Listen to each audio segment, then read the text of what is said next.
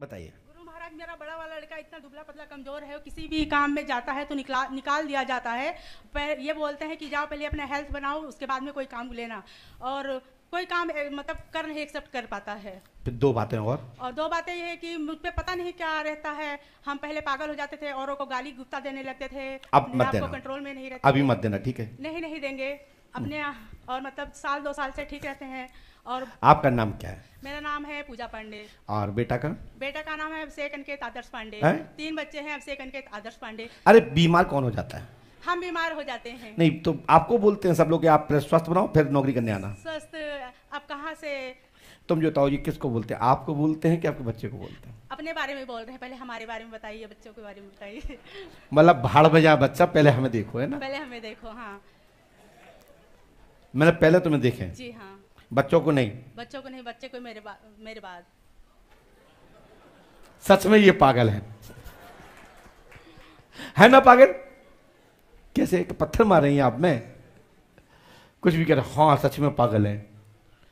सच में पागल होता है ना तो पहले वो अपनी नहीं पूछता वो कहता दूसरे की पूछता वो कहता ये सबसे चतुर आदमी है कि पहले हमारी हम सही तो बच्चे सही। अच्छा जी बताओ बच्चे का नाम क्या है? बच्चे का नाम? अभिषेक पांडे। अनिकेत? अनिकेत पढ़ता है छोड़ दिया इस बार एक बार फेल हो गया था इस बार पढ़ रहा है। किसी चीज़ में मेरे बच्चे पढ़ाई लिखाई में किसी में गुरु पति का नाम क्या है? पति का नाम है नवल किशोर पांडे। अच्छा। बस। और बहू के नाती हुआ था तो एक्सपायर हो गया। और? बस यही पूछना था। हे पंडोकर सरकार ये तो चार से ज़्यादा हो गए। नहीं जारी हुए हैं कहना चलो बहू का नाम क्या है? ललिता पांडे। हैं? ललिता पांडे। आपने तो यहाँ किसी को बताया तो नहीं? जी नहीं। ललता पांडे का एक बच्चा खत्म हो चुका है। राइट पूजा पांडे पागल टाइप हो जाती हैं। प्रेत बाधा है लाभ होगा आशीर्वाद है। ओके जी। बालक की नौकरी लगेगी आशीर्वाद है। जी। अब क्या चाहती हो हमसे प्राण? अब क्या चाहती हो? मेरी प्राण चाहिए? जी आपका आशीर्वाद चाहिए। हाँ, तो अच्छी बात है। अच्छी बहन हो यह हो तुम्हारी। आ, ललता को लेके आना अगली बार। जी। जाओ बालक हो जाएगा। आपका दिमाग पागलपना अब नहीं रहेगा। बालक की जॉब लगेगी आशीर्वाद है। और भैया इस मंत्र को नियम से करना है। ओम क्रांग क्रीं क्रूं फट कुरु कुरु स्वाहा। ये मंत्र एक सौ आठवा करना बस वहाँ पूछ लीजिएगा। ठीक है कितनी पढ़ी लिखी हैं आप? जी क्लास तक। धन्यवाद। बोलिए श्री पंडोकर सरकार की इस मंत्र को एक सौ आठवा करना है।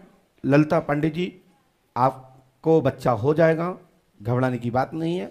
बच्चे की नौकरी होंगी ये हमारा आशीर्वाद और आपका पागलपना ठीक होगा। प्रेत बाधा का कारण है जो कि प्रेत बाधा शब्द हमने परिचय में उल्लेख नहीं किया है। मौखा बोल रहा हूँ ये ध्यान रखें। दीजिए। गुरु महाराज पंडोकर सरकार की। पागलपना खत्म। बताओ भैया क्या बात है? अपनी और भाई की नौकरी के लिए। कुछ दूसरा विषय भी लेके आए थे आप? नहीं।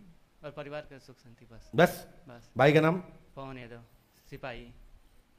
सिपाही अभी? हाँ नहीं आई नहीं नाम है बस पवन सिपाही। तो बस नौकरी का लगवाना है। हमने लिखा है पवन कुमार की शीघ्र ही जॉब लगेगी। साथ में आपका भी स्वास्थ्य ठीक रहेगा। घर में प्रेत वादा है घर में सुख शांति होगी आशीर्वाद है। अपनी नौकरी तुम्हारी क्या तुमने पूछी नहीं? पूछे अपनी अपनी बाइक अच्छा लग जाएगी। आपका नाम क्या है? पंकज यादव। ये मंत्र नियम से करना है। यदि करेंगे तो सफलता मिल जाएगी नहीं करोगे तुम जानो तुम्हारा काम जाना है। मंत्र पढ़िए क्या लिखा? माइक से पढ़ो। ओम चर्म चर्म यम तम तम तम फट एक सौ आठ बार। बहुत बढ़िया। बहुत अच्छे पढ़ लिखे हो आप। हनुमान जी कृपा करेंगे। गुरु कृपा होगी आशीर्वाद है। इस मंत्र को नियम से करना है और सोनुमा जी से पढ़वा लीजिएगा। समझ में नहीं आए तो पूछ लीजिएगा बार बार। पवन कुमार की और आपकी श्योम यानी कि आपकी भी जॉब होगी। जो कि हमने श्योम शब्द का प्रयोग हमने ऊपर की लाइन और दूसरी लाइन को छोड़कर तीसरी लाइन पढ़ी और फिर तीसरी लाइन पढ़ी। और ऊपर से तीन लाइन देखिएगा। और उसके बाद फिर हमने प्रेतवादा का उल्लेख किया है।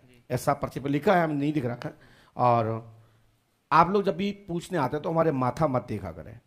पर्चे पर दृष्टि डालें और साथ में पढ़ेंगे तो बहुत अच्छा लगेगा। क्योंकि आपने पर्चा पढ़ा नहीं, हवा में चले गए। ठीक है ना? हनुमान जी कृपा करेंगे, लाभ होगा, आशीर्वाद।